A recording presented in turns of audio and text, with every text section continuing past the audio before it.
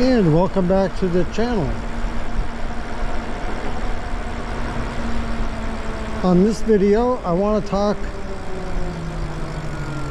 about e-bike law enforced or enforced laws on e-bikes and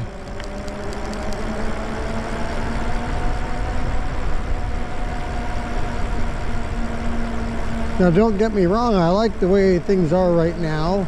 I mean, there could be improvements. I wish, that, you know, for example, that they would make speed limit or e-bike limit um, class 3 across the board and bump it up a few more miles per hour. But, um, but I want to talk today about specifically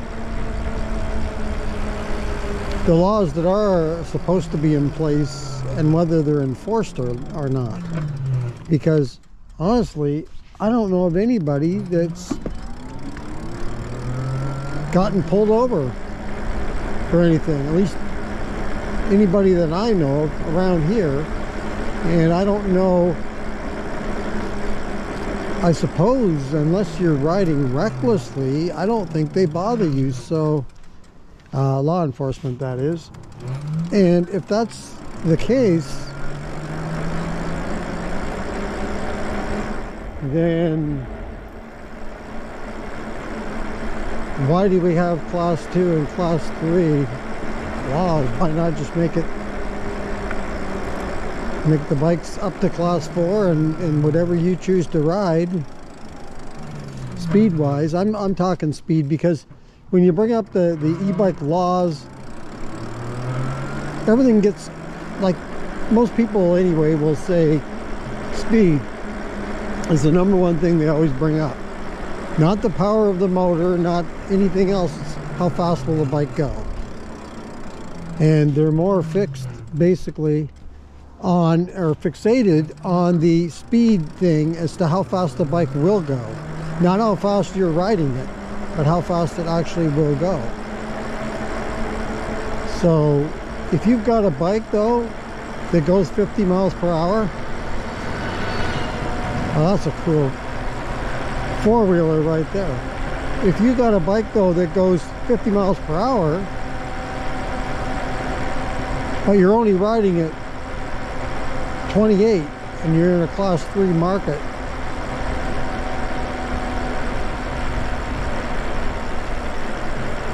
that's that's okay in my world.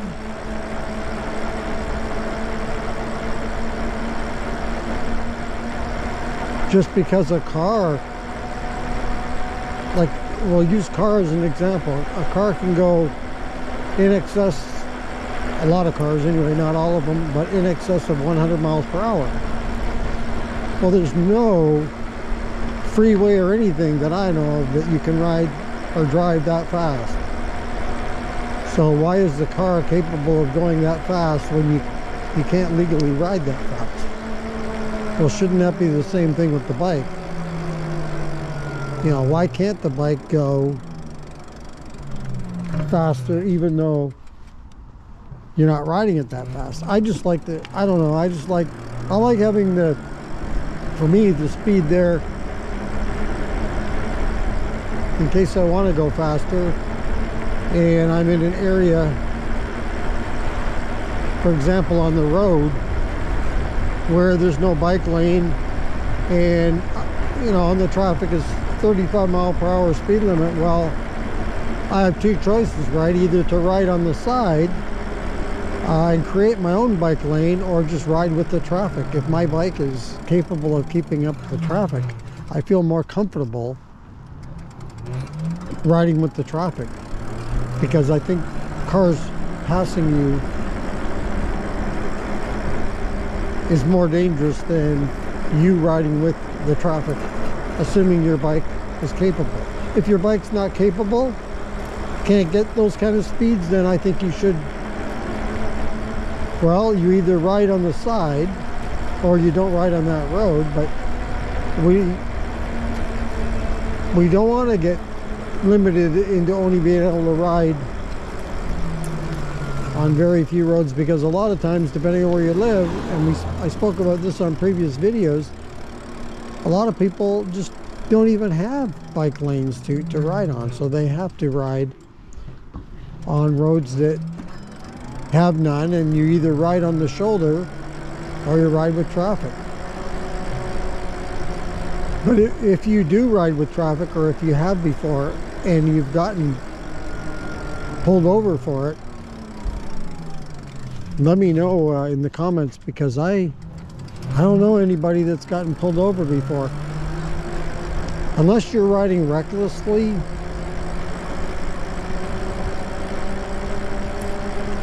But if your bike is built well and can handle it,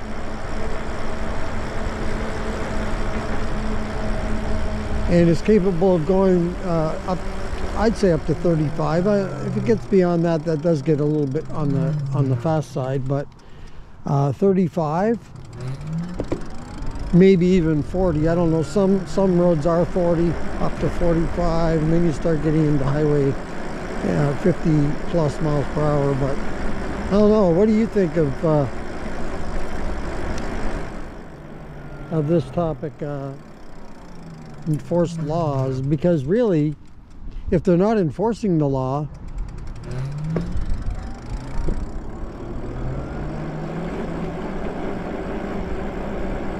then why do we have such a thing as class 2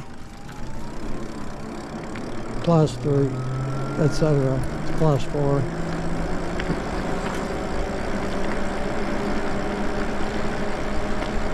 anyway it's just something I, I see people uh, commenting often and that's the number one thing that comes up all the time so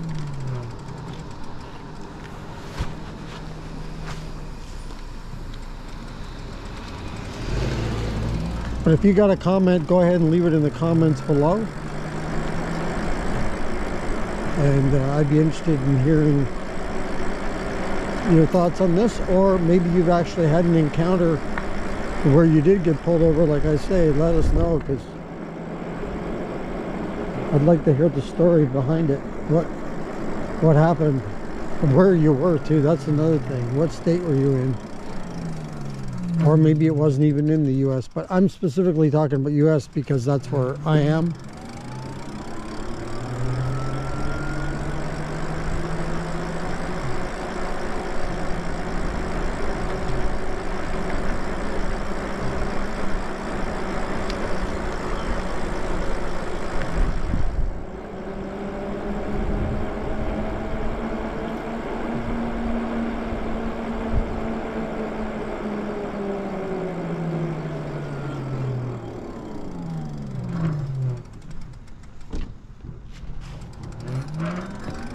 Well, that's going to do it for this video on the channel. I hope you enjoyed the video, and if you did, go ahead and hit the like button.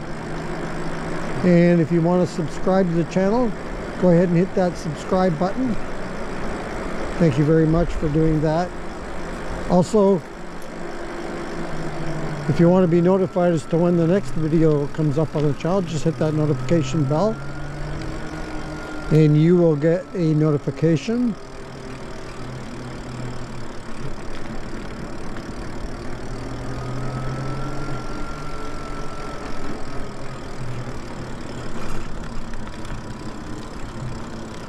And that's going to do it for this video, and we'll catch you on the next one.